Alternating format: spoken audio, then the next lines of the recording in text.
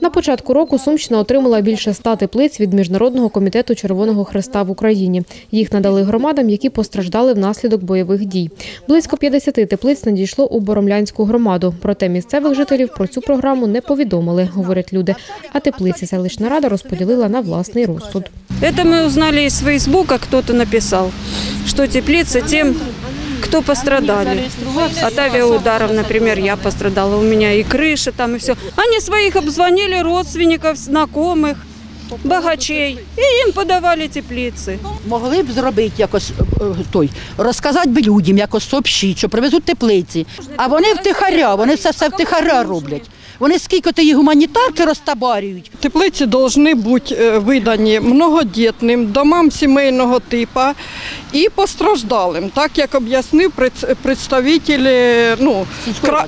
ні, Красного Креста. Пані Галина говорить, представники Червоного Хреста телефонували їй. Повідомили, що вона теж може отримати теплицю, але вже на ранок у списку її не було.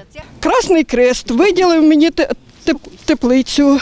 З вечора, коли привезли теплиці, мені видали, ну, позвонили і сказали, вам положено теплиця, перечислили, що туди входить, у це найменування, що мені треба отримати. Утром Да, успокойся. перезванюють, посовіщалися Романіка, Іваніна, що мені вже не положено теплицю. Я кажу, а де вона за ніч ділася? По всім відомостям мені пройшла, що я отримала теплицю, але я її не отримала. За якими критеріями розподіляли теплиці і хто мав право отримати таку допомогу? Голови громади на робочому місці не було. Він, як повідомили у селищній раді, у відпустці. За коментарем ми звернулись до його заступника. Він зазначив, що цим питанням не опікувався. 50 теплиць, а людей в громаді 6138, якщо я не помиляюся. Е, Звичайно, певній кількості людей, так м'яко говорячи, так е, не позвонять.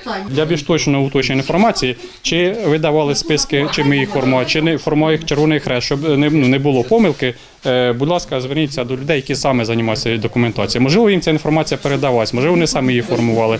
Як пояснили у ЦНАПі, списки на отримання вони не формували. Лише надали організації Червоного Хреста рекомендації, хто із жителів громади може претендувати на теплиці.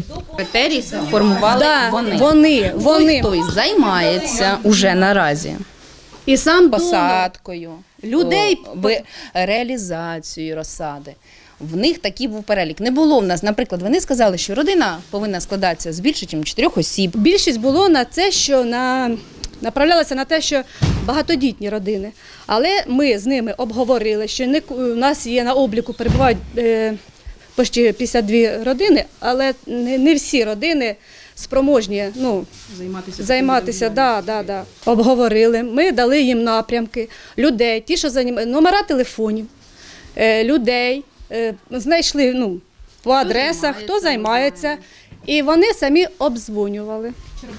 Так. Званювалися дуже багато людей, наскільки ми знаємо, але Четверний Хрест нам тоді сказав, що деякі люди просто відмовилися. У свою чергу мешканці громади кажуть, від теплиць вони не відмовлялися. Навпаки, більшість про них навіть не знали. Я звертався до Міжнародного Червоного Креста неодноразово, я з ними спілкувався. І те, що тут розповіли, ну це, звісно, бред. Вони довірилися до людей, щоб вони організували це, а вийшло все навпаки. Оцей е, вчинок такий ганебний, треба довести до якогось кінця, щоб було хто-то за це відповів і було все вирішено по справедливості. Кому потрібно, хай ті люди отримають. Тоня Борзеленко і Євген Сердюк. Новини СТС.